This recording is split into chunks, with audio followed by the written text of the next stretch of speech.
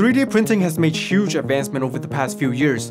What was once a limited and expensive technology is now made available for creators at home. So I printed this awesome octopus. Now, that same technology is being applied to one of the oldest and labor-intensive industry, the home construction industry. The home is not just being built, it's being printed. Inside the first 3D printed home in Arizona. This is a complete transformation in the way that we approach building. While there are still a lot of speculations or even skepticisms to the scalability of this technology, this research video will dive deep into answering the questions of can we actually rely on automation robot to build our future homes?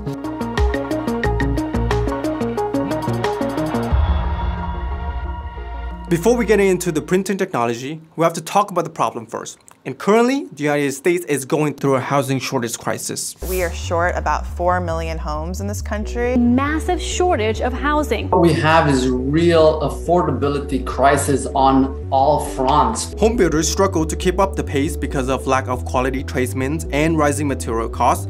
This would then lead to less homes are ready to be bought. This same limited number of homes on the market are then creating record high prices. First-time home buyers are then priced out and forced to continue to rent. This then will make it very difficult for renters to get on the property ladder at all. And what's more crucial to understand is that the housing shortage is not a coastal problem anymore. The reason of 3D home printing companies setting up shops all across the United States. So I traveled to Phoenix, Arizona to meet Jack and Russell, the founders of Diamond Age. Construction is a career path that has fallen out of favor with new tech savvy workers. When you don't have enough people to build the homes, you need to backfill that effort with automation. We're actually creating a new era of jobs that is attractive to the tech savvy worker. We have taken the home, deconstructed what a residential home needs to be in this country, and applied design for manufacturing principles to the components of the home, which allows us to bring high levels of automation and robotics to the job site, taking away the dull, the dirty, and the dangerous work from our tradespeople. We take ideas from other industries and apply them in new and novel ways to home construction. It allows us to solve the problem more efficiently. It also allows us to build an intellectual property moat around the business initially. The company aims to reduce the home construction cycle time from a 4 to 9 months down to just a 30 days period. And what's even more impressive is that they are doing this with an offset of about 55% of the manual labor that is typically required to build a new home. Diamond Age is currently working with a national home builder on an ambitious project in Eloy, Arizona, where they have set out to build 72 houses, which is essentially an entire neighborhood built off of that technology. I got a chance to visit those homes and experience the product they've built. So this is a Diamond Age home, recently completed here in Eloy, Arizona. What you'll see in a Diamond Age home is that it is familiar to the way homes are built today. It is not Diamond Age's intention to reinvent architectural styling of homes. What we're doing is reinventing the way homes get built. As you look around this home, it looks and feels just like the house you grew up in. You can put your hand up on the wall and it feels just like a gypsum knockdown finish because that's what it is. So one of the great advantages of Diamond Age homes is the composite wall system that we've designed and patented. The windowsills are a little deeper. The doorways are a little bit wider. It basically provides thermos bottle-like quality to the exterior of the home. So here in Arizona, where it gets pretty darn hot in the summers, in a Diamond Age home, because we don't need to overcome heat, we are able to run smaller air conditioning units and maintain great quality of temperature in the home using less energy. Other companies in the 3D home building space are embracing the signature markings created by 3D printing process by incorporating it in their designs. Icon's 2,000 square foot House Zero project in Austin, Texas has left much of the 3D printed walls exposed, follow what Icon calls biophilic design principles that they claim to promote natural circulation routes throughout the home. While Icon isn't planning on scaling the production of this type of home anytime soon, the company plans on using this structure to present as a proof of work to partners, architects, organizations, developers, and showcase the future of home building. What could 3D home building look like in the future? Diamond Age autonomous building technology aims to make the home more energy efficient and higher quality.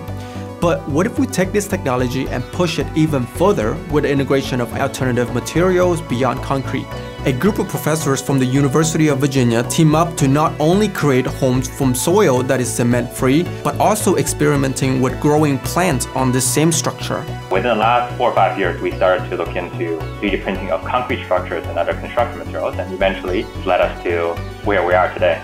Uh, it turns out that soil in its wet state behaves very much like concrete in its wet state. When we're trying to extrude or print these two materials, we're actually able to use very similar techniques or printing techniques. So once we figured out, okay, soil could potentially be a replacement for concrete, right? And then now we are trying to grow plants on top of this soil. I mean, it is very much doing a double duty, right? So one is if you're able to change the base construction material, so that it by itself it is something that's more carbon neutral. But on top of that, if the structure you're creating can further support and become a platform that supports plant growth, then you're doing more, right? These are the things that, you know, some of the goals that modern architecture uh, is proposed to, to want to, to achieve, right? So I think uh, having the entire structure achieve that purpose is sort of, uh, you know, one of the end goals for that.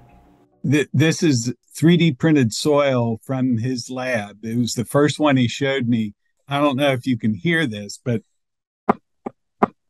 it, it's as hard as a rock. It was obviously going to be a challenge to come up with a material that would have properties you would need for structural integrity in order to build something, yet have the properties that it would need to support plant life. One of the interesting angles, I think, with plants is that a lot of times we use plants to control erosion. Well, it's because the root that gets in there acts like a net to tie the soil together better, to make them so they adhere to each other. There are studies out, out there that show that if you have plants with root systems, it increases the property, you know, the strength of the soil by 30 to 40 percent, which is quite significant. So there is a symbiotic relationship that one could create potentially with the plant and the soil system that sort of support each other. The one angle is that with 3D printing, uh, you could potentially have different layers that do different things, right? So you've seen this in, in 3D uh, concrete structure. They're not really making solid walls, right? They have walls and then in the middle is sort of this uh, serpentine type of pattern. There's a gap and then you can design that specific pattern to do various things. Now take a soil structure, right? And then on the outside wall, you could have a wall that has moisture. And then the inner wall becomes structural. Uh, it's something that actually holds the thing up. And maybe it's better controlled it's dry so that you don't have to worry about living in a damp house or having you know little worms crawling out of your walls. Uh, so there are ways to sort of divide up different functions and make a structure that have different parts that serve different functions. So now that we finally got through the technical aspect of how this works, I want to know what are the next immediate applications we can use to put this technology to use. So the most ready application that I can think of is in landscape architecture. Right? So if you can create structures that you know you can put in a garden somewhere, right? That doubles both as the plant bed, but also as some sort of a structure that's used to decorate the, the garden. The next closest one is of course residence, single family residence. These structures already exist, right? So Adobe-based structures are quite popular in the Southwest United States, in New Mexico, in some parts of California. We're working with uh, Adobe-based construction to, to try to test out some of these ideas. I think you know this this idea of using soil as a construction material, it's not new, but it's it's supposed to be sort of the home run. What can you say about using construction material that is 100% natural, 100% recyclable? Now, of course, to get to the point where this is actually realistic and you're building really useful structure out of it, there's still quite a bit to go. Could you potentially see this project or this idea come to fruition in the near future? You know, uh, we're not making a lot of new land. The human population is still growing. The need for housing is not going to stop in my lifetime or your lifetime. Decisions people make on how they develop the built environment are going to be critical for maintaining the ecosystem services that humans and everything else in the world needs. If our built environment can incorporate some of those ecosystem services, the rate at which we degrade the environment will, at the very least, slow down. You know, if you're looking for encouraging signs, you know, the past 15 or 20 years or so, I hope will be looked at in the future as a period of time where people realized they could be doing a lot more with the way they create their societies that results in a, in a more sustainable human environment. I think you put just the perfect amount of optimism and skepticisms of uh, this project.